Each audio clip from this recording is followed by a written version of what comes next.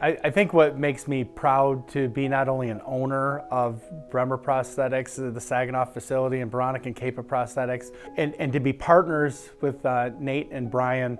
Everyone here treats every patient as if that patient was their own. This company is pretty incredible and I am proud to have colleagues that care so much about that whole process. So not only do I have partners, but every single person approaches every individual as if this experience is on a personal level and how important it is to their rehabilitation process and no one takes that lightly. We couldn't be more blessed with a better team, you know, whether it's, you know, staff in the front office from greeting patients to answering the phones to making sure that you know we know how you want your coffee or what juice box that you like when you come in the door. These are all the things that that we really put a focus on that it's every single member of our team has a personal connection with our patient.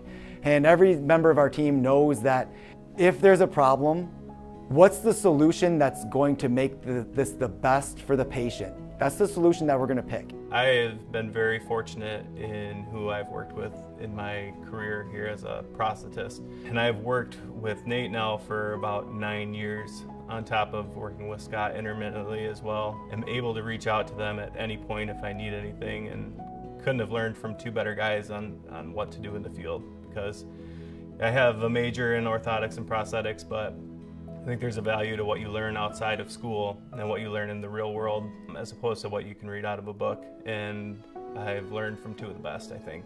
I, I think we have a blast. I, I mean, I could, everybody has to go to work and they have to make money. I'm so blessed that I can take something that's so personal to me in my life. I, I start every day by putting my own leg on and, you know, to be able to enjoy that, to love what I do, to be able to then to be able to take it a step further and say that what we do helps improve the quality of people's lives. It's a job. You have to do paperwork. There's things there, but overall, uh, I think this I think this job's a blast.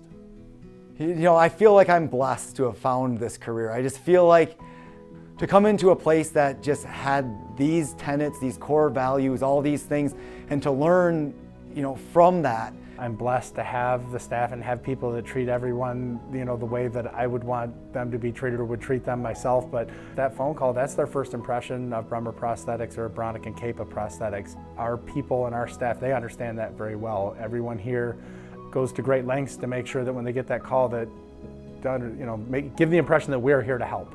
And that's what, you know, that's what this experience is all about.